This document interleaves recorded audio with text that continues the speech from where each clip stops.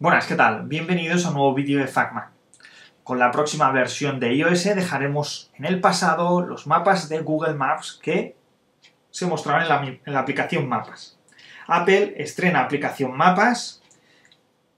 Algo que destaca es que dejamos atrás los planos de Google y junto a la colaboración de TomTom tenemos estos planos, estos mapas de Apple con una de las características, el visionado en 3D. Visionado que no está disponible ni mucho menos para, para, todas las partes, o sea, para todos los lugares, y que a mí particularmente no me acaba de gustar, aunque sí que hay que reconocer que respecto a la Preview 1, respecto a la Beta 1 en iOS 6, con la última beta que han publicado, pues funciona un poquito mejor.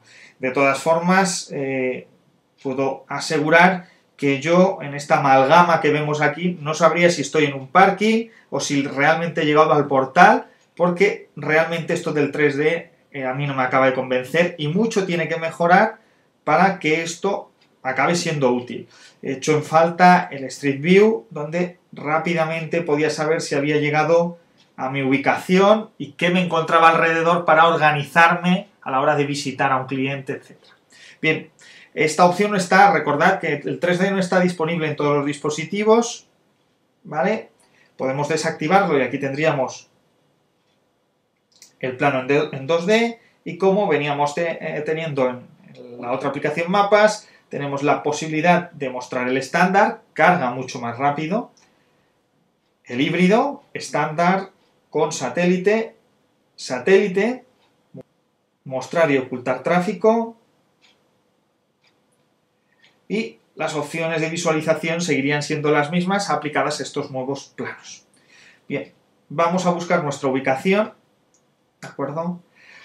Vemos que es mucho más rápido a la hora de cargar, cosa que no habíamos visto en la beta 1 de iOS, y aquí tendríamos, por ejemplo, nuestra ubicación, y si aquí, por ejemplo, activamos el 3D, como podemos ver, lo único que hace es poner en perspectiva el 2D, poca ayuda nos va, nos va a ofrecer este plano para intentar encontrar una ubicación en concreto, un portal en concreto, como hacíamos con Google y la, y la opción de Street View. Bien, una de las opciones que incorpora mapas es la posibilidad de guiarnos, ¿de acuerdo? Como si fuera un GPS hacia nuestro destino.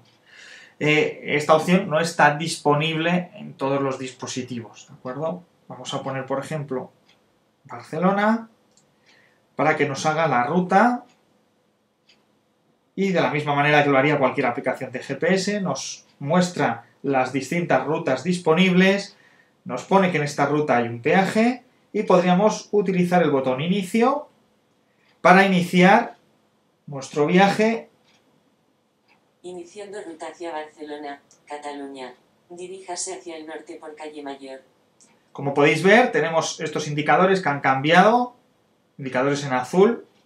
Eh, tenemos la voz que nos guía, ¿de acuerdo? En los dispositivos con Siri será Siri. En el caso del iPad 2, pues es la voz del, del sistema que nos va a ir guiando en cualquier momento. Podemos acudir al visualizado general.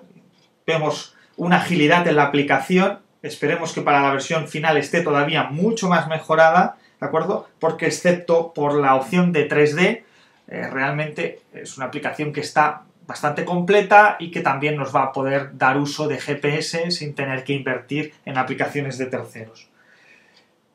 Aquí podríamos ver al detalle cómo se organiza nuestra ruta, ¿de acuerdo? Y también tenemos opciones interesantes como la opción para imprimir o podemos mostrar un marcador, ¿de acuerdo? Y a la hora de mostrar la información, como podéis ver, se muestra una pequeña escena de la zona en donde hemos establecido nuestro marcador. Bien, pues como veis esta es la nueva aplicación Mapas, poco a poco va mejorando, versión final estará, esperemos que mucho mejor que lo que estamos viendo en estas betas, y próximamente diremos adiós a Google Maps, Podremos, podremos tener los mapas de Google Maps con la aplicación que, sacará Google, pero para aplicación de mapas en nuestro iOS estrenaremos toda esta aplicación con esos nuevos mapas en colaboración con TomTom que nos presenta Apple. Bien, pues esto es todo, nos vemos en un próximo vídeo.